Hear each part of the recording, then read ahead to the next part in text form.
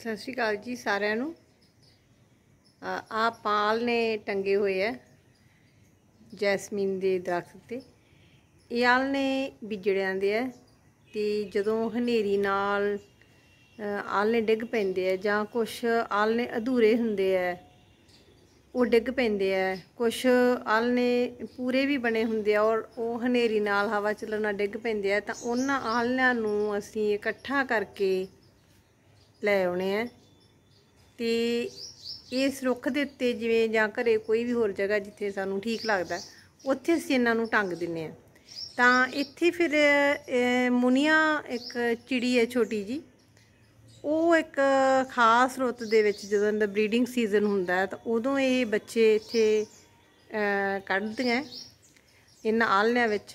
ਇਹਨਾਂ ਆਲਣਿਆਂ ਵਿੱਚ ਉਹ ਆਪਣੇ ਹਿਸਾਬ ਨਾਲ ਜਿਹੜੇ ਡੱਕੇ ਰੱਖਣੇ ਆ ਜਾਂ ਜਿਹੜੇ ਕੋਈ ਵੀ ਉਹਨਾਂ ਨੇ ਮਟੀਰੀਅਲ ਲਿਆਉਣਾ ਹੈ ਆਪਣਾ, ਇੱਕ ਵਿੱਚ, ਇਹਨਾਂ ਆਲਿਆਂ ਦੇ ਵਿੱਚ ਆਪਣਾ ਆਲਣਾ ਬਣਾ ਕੇ ਉਹਦੇ ਵਿੱਚ ਆਂਡੇ ਦਿੰਦੇ ਆ।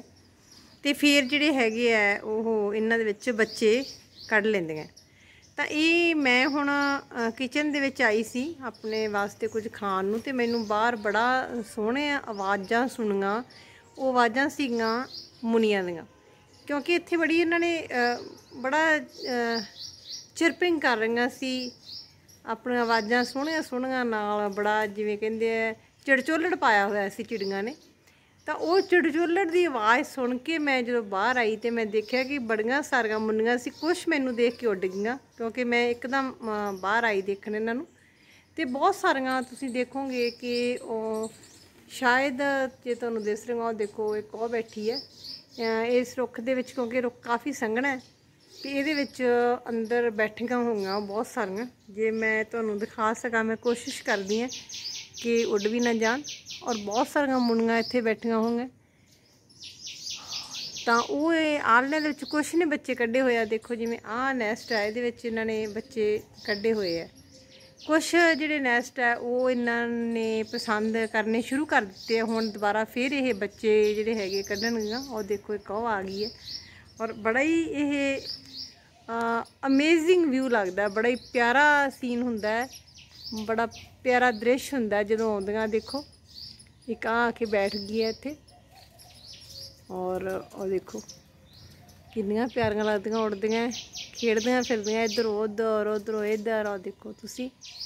ਔਰ ਇਹ ਆਲਣਾ ਪਸੰਦ ਕਰ ਰਹੀਆਂ ਇਹ ਸਾਲਨ ਦੇ ਵਿੱਚ ਜਾਂਦੀਆਂ ਉੱਥੋਂ ਬਾਹਰ ਆਉਂਦੀਆਂ ਔਰ ਮੈਨੂੰ ਇਹ ਲੱਗਦਾ ਕਿ ਸ਼ਾਇਦ ਇਹ ਵੀ ਹੋ ਸਕਦਾ ਕਿ ਇਸ ਆਲਣੇ ਦੇ ਵਿੱਚ ਇਹਨਾਂ ਦੇ ਬੱਚੇ ਹੋ ਸਕਦੇ ਆ ਦੇਖੋ ਤੁਸੀਂ।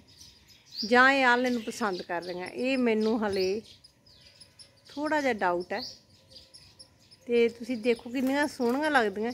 ਔਰ ਬੜੀਆਂ ਹੀ ਬਰੇਵ ਹੁੰਦੀਆਂ, ਇਹ ਡਰਦੀਆਂ ਨਹੀਂ ਨੀਡਰ ਹੁੰਦੀਆਂ ਬੜੀਆਂ। ਡਰਦੀਆਂ ਬਹੁਤ ਘੱਟ ਹੈ। ਇਨਸਾਨ ਦੇ ਕੋਲੇ ਰਹਿੰਦੀਆਂ, ਦੇਖੋ। ਤੁਸੀਂ ਕਿੰਨਾ ਸੋਹਣਾ ਲੱਗ ਰਿਹਾ ਹੈ। ਉਹ ਦੇਖੋ ਬੈਠੀ ਹੋਈ ਹੈ। ਬੜੀਆਂ ਪਿਆਰੀਆਂ ਹੁੰਦੀਆਂ, ਉੱਥੇ ਕੋਈ ਖੋਰ ਆ ਗਈ। ਦੋ ਚਿੜੀਆਂ ਆ ਕੇ ਬੈਠ ਗਈਆਂ। ਤੇ ਰੌਣਕ ਬੜੀ ਹੁੰਦੀ ਹੈ। ਇਹ ਰੌਣਕ ਇਸੇ ਕਰਕੇ ਜੇਕਰ ਅਸੀਂ ਰੁੱਖ ਲਾਉਣੇ ਆ, ਰੁੱਖ ਹੈ, ਤਾਂ ਰੁੱਖਾਂ ਦੇ ਉੱਤੇ ਫੁੱਲ, ਪੰਛੀ, ਬੜਾ ਕੁਝ ਆਉਂਦਾ ਹੈ। ਤਾਂ ਕਿੰਨੀਆਂ ਸੋਹਣੀਆਂ ਲੱਗ ਰਹੀਆਂ, ਤੁਸੀਂ ਦੇਖ ਹੀ ਸਕਦੇ ਹੋ, ਖੁਦ ਦੇਖੋ ਨਜ਼ਾਰਾ।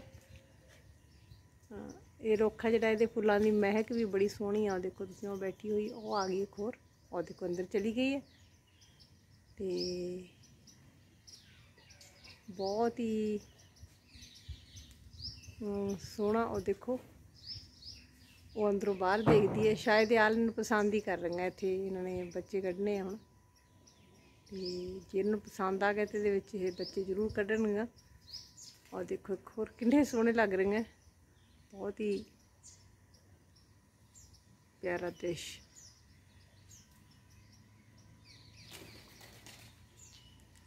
ਬਹੁਤ ਸਾਰੀਆਂ ਸੀ ਪਹਿਲਾਂ ਇੱਥੇ, ਉਹ ਦੇਖੋ।